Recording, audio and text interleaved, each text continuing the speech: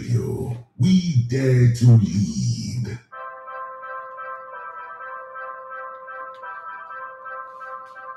Let's get the show on the road.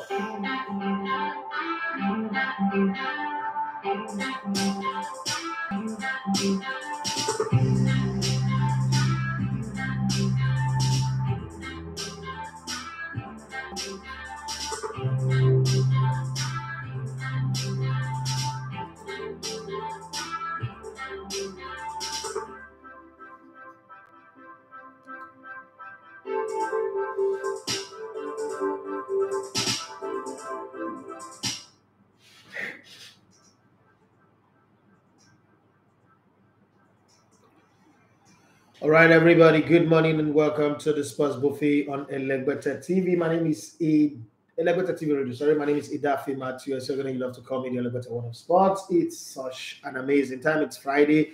Today is the day we decide who is the next president of the Nigerian Football Federation.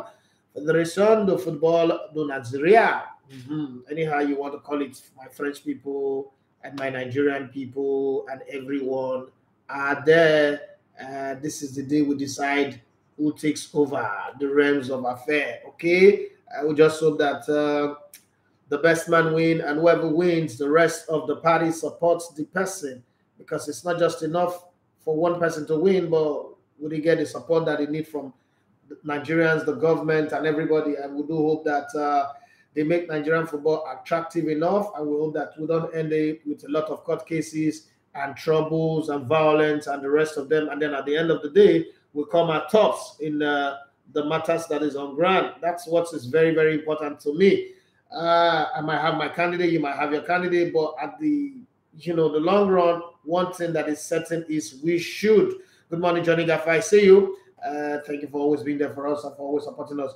We should be able to think of the game itself rather than personal interest. There have been so much uh, personal interests that have also broken the progress of football, truncated the progress of football due to the personal greed, individual greed of people or group of people.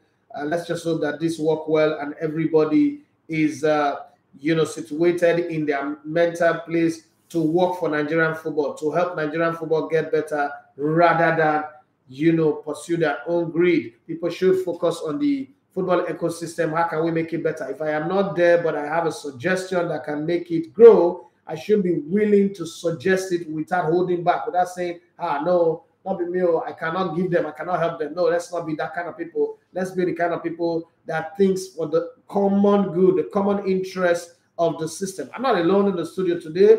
I am here with uh, Benedict.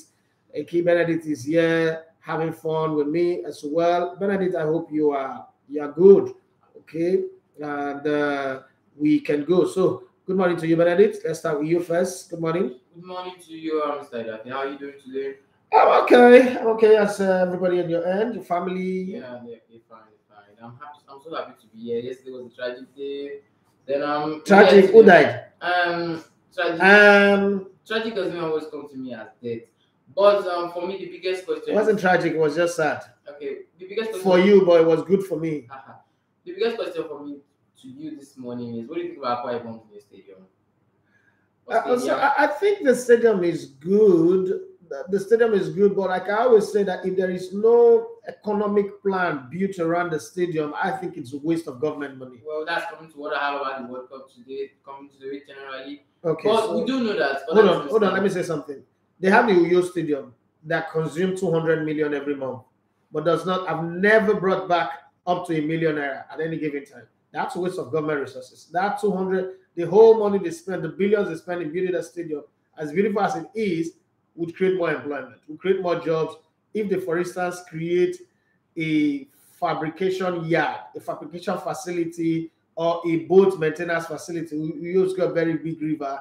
They create a boat maintenance facilities, and as the governors, they all travel out, they go out there and go and speak to, you know, people guarantee. But then again, you have to guarantee security because nobody's going to bring their boat here uh, when they feel like somebody will come and kidnap them. But I just think if we build stadium, we should also wrap around it uh, economic benefit. You got something to say? No, no, no, I don't. But we do know that other teams can actually rent the stadium as it is right now. So it's, it's kind of a benefit, a win win situation for them. I don't see any team renting the stadium where it is situated. That's one. Two, uh, the Nigerian football have not risen to the point where a club can afford to rent a stadium and then pack it full. One thing is to have a stadium, another thing is to have the fans that will pay and fill up the stadium. When Super Eagles play in you, we throw the gate open wide for free. Super Eagles is like the biggest football brand in Nigeria, probably the west coast of Africa. Yeah, some African countries will not be happy with me, but it is. And we are unable to fill a stadium paying uh, fans that are paying for for matches. So which club? Where's, where's the club? this part of the, the country, the south part of the country, people don't pay money to watch football. If it is in Kano, maybe. But that, that I don't think so. But I mean, good that they have the stadium. But I think it will go moribund eventually. It will not really turn out to uh, what's the use of buying a car that you cannot use? What's the use of building a house that you will not live in and you will not be able to rent to make money? You will not be able to Airbnb to make money from it it's just that it's just lying fallow and then become a ghost house. That's what the stadium is going to be eventually.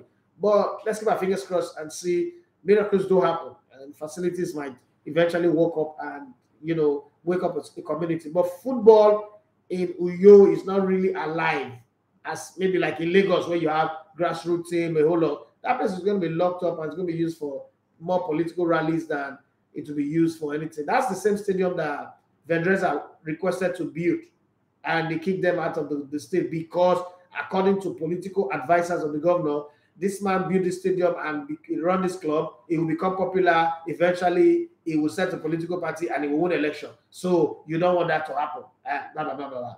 Myopic, you know, individual thinking. Well, let's move on.